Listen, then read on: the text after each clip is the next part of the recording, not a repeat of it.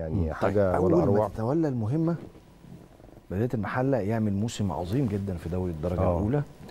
إيه، يعمل أداء كبير كمان ملفت للنظر بمجموعة لاعبين دايما حتى في الدرجة الثانية أو الدرجة الأولى يعني. إيه، يقول لك إيه حتى 3 4 5 7 8 لعيبة خبرة كده هم اللي آه. هيقوموك. لا أنتوا اشتغلتوا بجيل فيهوش الأسماء المنورة دي أو الأسماء التاريخية ورغم كده عملتوا أداء رائع تحت جدا ولما طلعتوا الدوري الممتاز ما عملتوش تدريبات قلت بقى شيل بقى الفرقة القديمة دي كلها اللي طلعت معايا وهات فرقة جديدة. ورغم كده أنتوا بدايتكم لحد كبير جيدة جدا في الدوري الممتاز هذا الموسم. أه هقول لحضرتك على حاجة. اتفضل. كل الأجي... كل الفترات اللي نادي البلدية على مر التاريخ عمل فيها طفرات في الكورة في النتائج كانت بنفس التركيبة دي. بنفس نوعية اللعيبة بنفس ال- ال- الأعمار السنية دي. بنفس الفكرة دي بنفس الكرة الجميلة اللي بتتقدم موجودة. آه، آه، لأ آه، إحنا ما بيجيش معانا الحته الثانية أو إحنا ولا ولا إمكانياتنا ولا وضعنا يسمح إن إحنا نستقطب اللعيبة ال- ال- ال- الخبرات اللي هو بيجي يعني طبعا خبرات محترمة جدا لكن بيحب بيح- بيحتاج إنه يشتغل في أجواء مختلفة عن الأجواء اللي إحنا محتاجين إن إحنا نستقطبها يعني. آه ولا تروح تجيب لعيب بتبعده مثلا بمليون ولا 2 مليون وتيجي تقول له لا أصل والله معيش لا. لا مستحيل أنا ما ينفعش نعمل كده صح يعني أنا ما بحبش ما بحبش الطريقة دي أنا آه، في ناس لا تعمل كده أقصد لا يعني لا أنا ما بحبش لعيبة وفي الآخر نبقى نشوف بقى لا لا خالص. آه. خالص إحنا إحنا عندنا إمكانيات معينة آه، بقولها من أول يوم بقدر بحاول طول الوقت أو أو يبقى همي الأول والأخير إن أنا أقدر أحافظ أو إن أنا أقدر أستمر وألتزم في اتفاقاتي مع اللعيبة. اللي هو حاطط ميزانية والميزانية دي اللي بشتغل عليها. لا. لا بطلع ولا بنزل بالظبط. عظيم. طيب وجبت بقى في النص كابتن أحمد عبد الرؤوف. ودي. في حد ذاته فكرة مهمة جدا. صح. إزاي اخترت كابتن أحمد عبد الرؤوف؟ والمتابعين يعني الناس اللي بتحب الكورة حتى اللعيبة أو المدربين يقول لك من زمان الكابتن أحمد عبد الرؤوف ده مدرب واعد جدا. مدرب هينجح بشكل كبير جدا. إزاي وقع الاختيار على الكابتن أحمد عبد الرؤوف؟ آه، توفيق كبير جدا من ربنا سبحانه وتعالى. آه، أول مرة نورت فكرة آه، كابتن أحمد عبد الرؤوف آه، بالنسبة لي كان عندنا مباراة بلدية المحلة بنلاعب المصري السلوم وكان ماسك المصري السلوم لسه بقاله كام ماتش.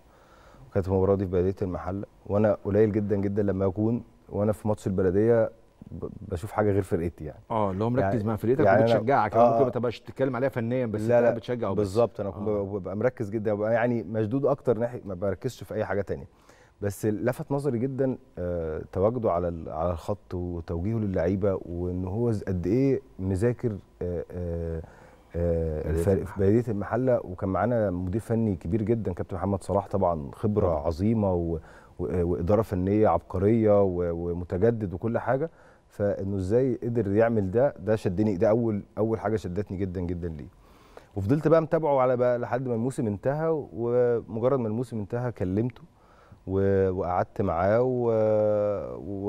واكتشفت بقى إن هو أصلا عنده يعني ده مش جاي من فراغ. مم. لا هو بيذاكر وبيجتهد وبيشتغل وبي- متطور جدا. وبيتطور وبي يعني بيواجه نفسه دايما بنقط الضعف. لا عنده حاجات طبعا مميزات آه، آه، مهمة جدا ومن الحاجات ال- ال- ال- العظيمة كمان إنه آه، إنه طموح الكابتن أحمد عبد الرؤوف طموح كبير. مم. مش مجرد إنه يمسك فريق في فريق كبير في القسم الثاني أو إنه يصعد بس أو إنه يمسك حتى في الدوري الممتاز. لا لا هو عنده طموح كبير حسيت إن هو متوافق مع الطموح بتاعي ناحية المكان.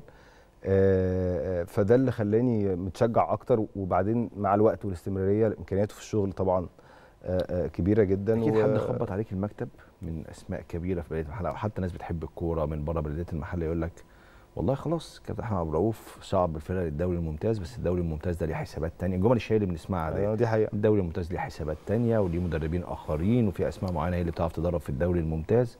شكرا يا كابتن أحمد عبد الرؤوف. هات. مدرب تاني. أكيد الناس اتكلمت معاك. في الكلام ده. بص هو ده بيحصل من السنة اللي فاتت. آه. يعني من, من أصلا من ساعة ما اخترنا كابتن أحمد عبد الرؤوف. ولكن آه، زي ما قلت لك أنا القعدة إحنا كان في ترابيزة وكنت أنا موجود فيها وكان موجود معانا الكابتن حمادة علي وكمان مدير الكورة وأنا خلصت القعدة وبعرض طبعا بالتبعيه على آه، زمايلي في مجلس إدارة.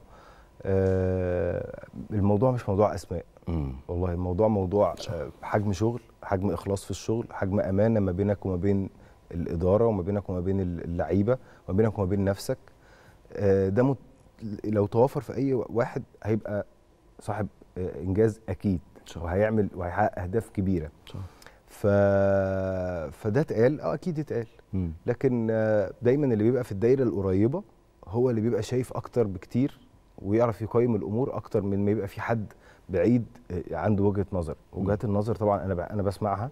وبفكر في كل كلام ممكن أسمعه أو ممكن أي حد يقوله لي.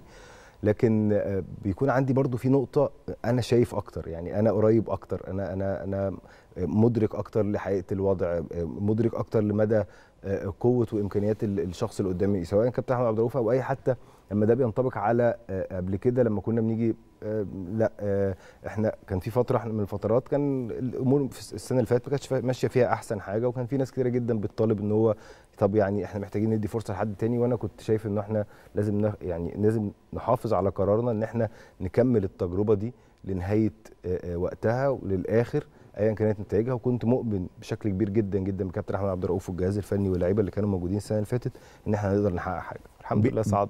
صعدتوا